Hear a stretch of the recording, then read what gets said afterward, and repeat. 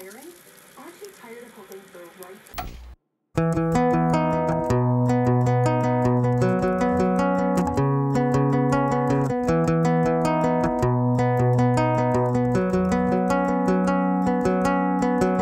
I've been feeling kinda fucked up lately Staying up and watching too much